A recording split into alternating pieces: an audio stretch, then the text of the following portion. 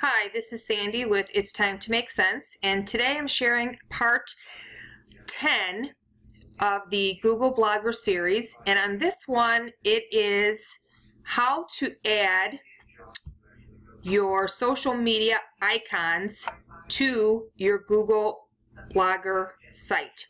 Now, there's two ways to do it, and this is going to be the first way, and so that I don't confuse everybody, tomorrow I'll do the other way, and you can decide um, how you want to do it, what's easier for you. So they will be added like this in separate little boxes, regardless of the way I show you how to do it. So let's get started, and the first thing you want to do, of course, is be in your area for your blog.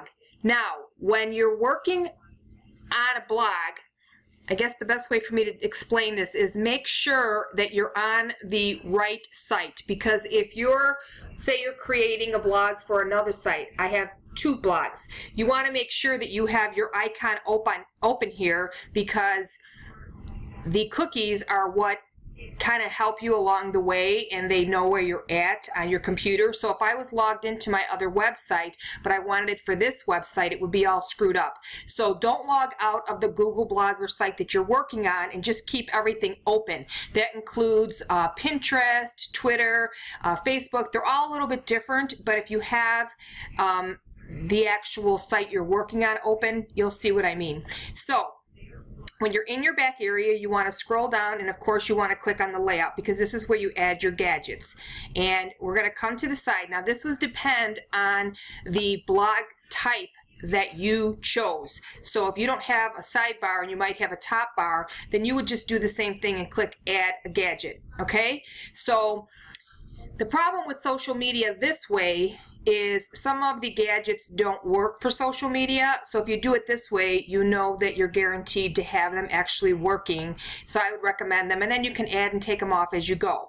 So we're going to do the first one, which is the Google Blogger one, which I do have way at the bottom here. I don't have it at the top. Um, I do update it with my blog post, but I have it right here. Here's my Google badge. And the way that you add your Google badge to your blog is go into the site, click Add a Gadget, and then with this one, all you're going to do is you're going to scroll all the way down to Google Badge. And you just click Add. It already knows that you're on the website that you're working, and you just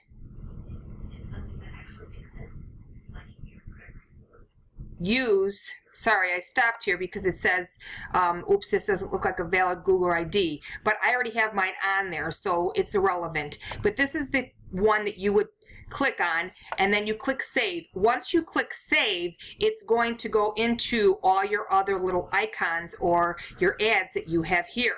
Remember, if you want them to be in a different order, you would just switch them around. So I wanted my pages to be at the very top so that they knew they can click on other ones. Then I had Twitter, then I had Facebook, and then I had Google Plus in case they wanted to add. So you just click save your arrangement and then you would view your blog and here they are the way you have them okay so that's the first one that's the easiest the next one that we're going to do is we're going to do Twitter. Now with Twitter, you have to be on a certain page and I included the link right here. But again, you need to be logged into your Twitter account for this blog. So my Twitter account is still, it's time to make cents. So what you need to do is be logged in and then go to this site okay? Because what it's doing is this site is picking up my Twitter account. And here is, you know, time makes cents. That's my Twitter handle. What you want to do is you want them to follow you. So you would click this link.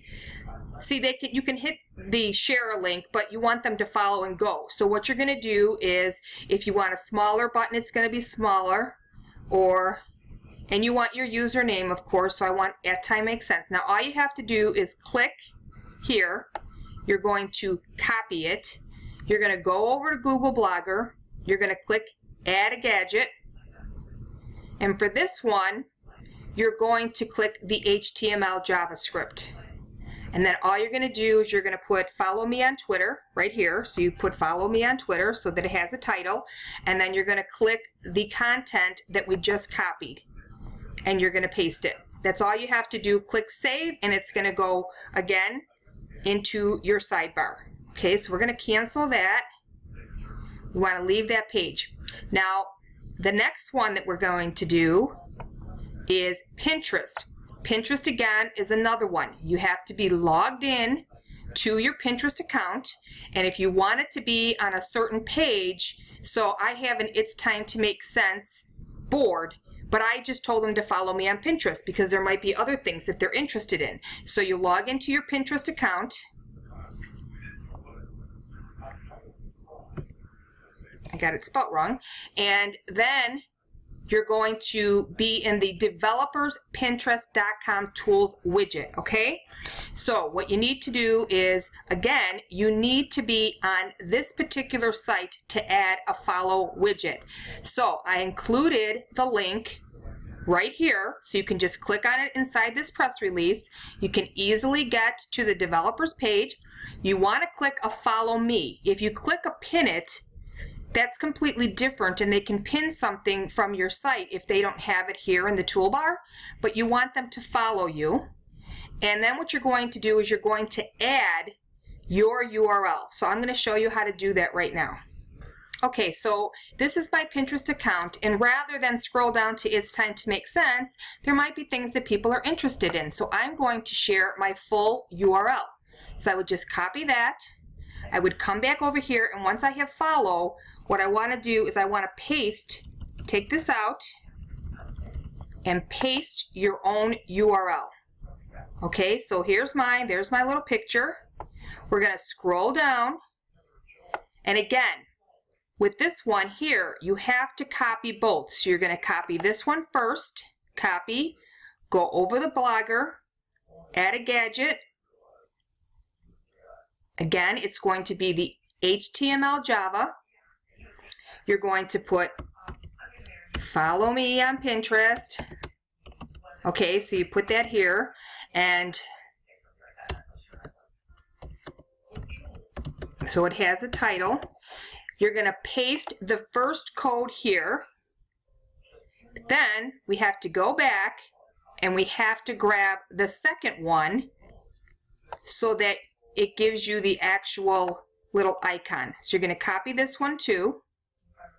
We're going to go back. We're going to paste this one. That's all you need. And then you're going to click Save. And again, it's going to go to your list of icons. Okay? So that's how you add Pinterest. Let's cancel this out.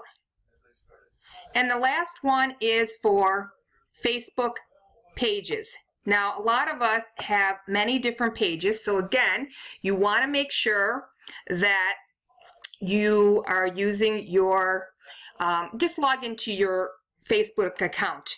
Once you're in your Facebook account, you need to click on the Facebook bag badges right here. And that is going to look like this. Okay, so yes, this is my Facebook account, but this is where you want to be, facebook.com backslash badges. Once you're here, you want to click on a page badge. Okay, so as you can see, I have several pages, but I want my It's Time to Make Cents page. So I'm going to scroll down, and all you have to do here is if I wanted to edit this to make it look different, you just click Edit the Badge,